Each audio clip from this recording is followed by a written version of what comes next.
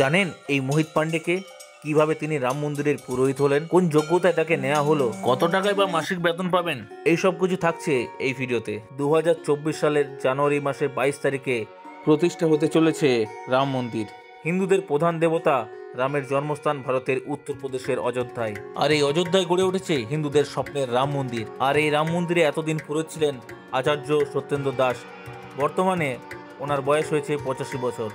উনি উত্তরপ্রদেশের সরকারের কাছে আবেদন করেন এই সময় যেন ওনার উত্তরাধিকারীকে বেছে নেওয়া হয়। তাহলে সঠিক সময়ে তার উত্তরাধিকারীকে সব কিছু শিখিয়ে দিয়ে তিনি নিশ্চিন্ত হতে পারবেন। এরপর পণ্ডিত খোঁজার কাজ সঙ্গে সঙ্গে চালু করে দেওয়া হয়। পেপারে দেওয়া হয় বিজ্ঞাপন। প্রায় তিন হাজার পণ্ডিত এই রাম মন্দিরে পুজো করার জন্য আবেদন করেন। এই তিন হাজার জন পুরোহিতের মধ্যে মাত্র একুশ জনকে বেছে নেওয়া হয় রাম মন্দির পুজো করার জন্য। কুড়ি জন সহায়ক এবং একজন প্রধান পুরোহিতকে বেছে নেওয়া হয় রাম মন্দির পুজো করার জন্য।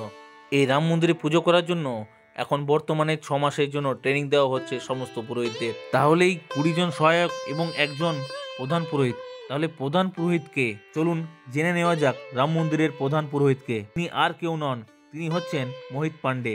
বেদ, পুরাণ, উপনিষদ, রামায়ণ, মহাভারত সবকিছুতে তিনি পারদর্শী। মোহিত পান্ডে ছোট থেকে ছিল খুবই মেধাবী। দুগ্ধেশ্বরনাথ বেদ বিদ্যা মন্দির থেকে সাত বছর সামবেদের নিয়ে অধ্যয়ন করেন। তিনি রামনন্দিনীয় দীক্ষাও লাভ করেছেন।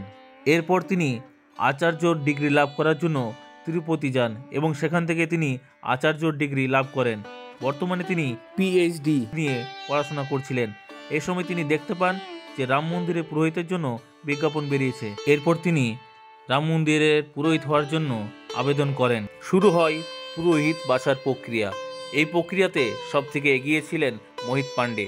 তাই মোহিত পাণ্ডেকেই প্রধান পুরোহিত হওয়ার জন্য চয়ন করা হয়। প্রত্যেকজন আবেদনকারী ছিল বেদ ও উপনিষদে পুরোপুরি দক্ষ। কিন্তু মোটেই সোজা ছিল না রাম মন্দিরের পুরোহিত হওয়ার পরীক্ষা। ইউপিএসসি লেভেলের পরীক্ষা নেওয়া হয় প্রত্যেকজন আবেদনকারীর কাছ থেকে। এরপর চয়ন করা হয় একজন প্রধান পুরোহিত এবং কুড়ি জন সহকারীকে। বর্তমানে ওনার ছ মাসের জন্য ট্রেনিং চলছে। এবার আসা যাক, রাম মন্দিরে পুজো করতে কত টাকা বেতন পাবেন? রাম মন্দিরের পুরোহিত? রাম মন্দিরের সহকারী পুরোহিতের বেতন হবে একত্রিশ হাজার টাকা এবং প্রধান পুরোহিত বেতন পাবেন বত্রিশ হাজার নশো টাকা। বন্ধুরা, এই ভিডিওর কমেন্ট বক্সে জয় শ্রীরাম লিখতে ভুলবেন না এবং সমস্ত বন্ধুকে শেয়ার করে এই ইনফরমেশনটি জানিয়ে দিন। ধন্যবাদ, ভালো থাকবেন, জয় শ্রীরাম।